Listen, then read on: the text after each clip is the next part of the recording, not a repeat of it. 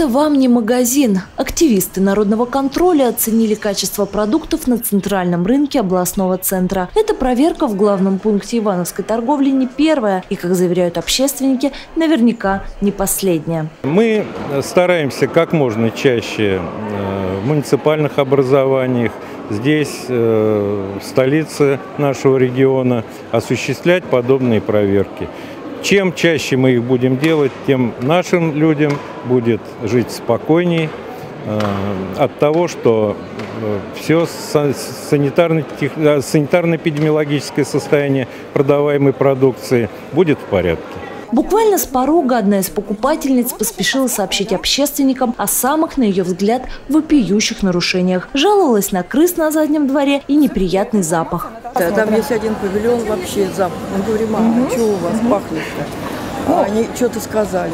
Понятно. Все, это вообще полностью, это кошмар. Крыс активисты не увидели, а вот запах все же есть. Особое внимание уделили мясной продукции. По сравнению с прошлой проверкой, санитарное состояние заметно улучшилось. Теперь мясо лежит не на картоне, а на прохладных железных поверхностях. Сетками, правда, не закрыто и нигде нет ценников. На вопрос об информировании покупателей о сумме продавцы отвечают – это не магазин, нечего тут бумажки писать, цена договорная. Потому что мясная продукция хранится без каких-либо Э, сроков годности, то есть нету упаковки, хранится на открытом воздухе под жарой.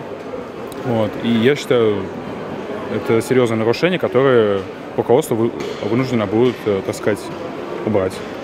Неприятно удивили активистов витрины с готовыми салатами и соленьями. Не указано даже наименований. Что это за блюдо, покупатель должен догадаться сам. Возмутили общественников и витрины с молочной продукцией. Ну вот, пожалуйста, да, вот э, молочная продукция, та, которая идет в заводской таре, она должна, если они куда-то перекладывают, иметь э, этикетку, где написано обязательно срок, производи, срок, года, срок производства дата выработки, да, срок хранения и кто производитель. Мы не видим ничего, откуда эта продукция, что это такое, где ее делали, э, этот творог, эту продукцию, где делали, Очередной кто. обман. Непонятно. В этот раз руководство рынка и работники отделались предупреждениями. Выявленные нарушения не настолько серьезные, чтобы заявлять в Роспотребнадзор или прокуратуру, а активисты народного контроля планируют через некоторое время вернуться на центральный рынок, чтобы проверить, устранены ли недочеты. Мария Попова, Денис Денисов, РТВ Иванова.